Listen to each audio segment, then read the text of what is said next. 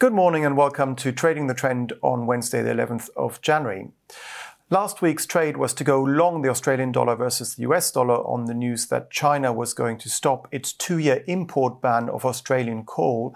And also from a technical perspective, as we can see here on the daily financial bet on the daily chart here, is that uh, we rose for the first time since April of um, 2020 above the red line here, the 200 day simple moving average.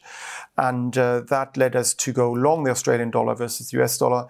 And we did come off a bit after putting the long trade on, but we stayed above our stop loss level and are now trading uh, above the red line again, the 200 day simple moving average, and thus expect further upside to be seen on this currency pair.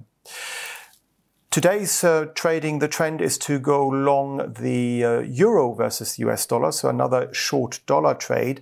But uh, we would like to buy it at lower levels just in case that uh, tomorrow's US uh, CPI data in the US uh, surprises market participants and pushes this currency pair lower again.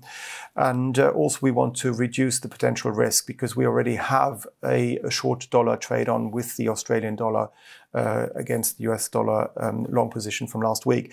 So here we would like to buy at 106.40 with a stop loss below 104.40 below this key support area which held last Friday and an upside target if we go on the weekly chart at uh, 111.40, taking us back to levels last seen in November 2021 and March of 2022.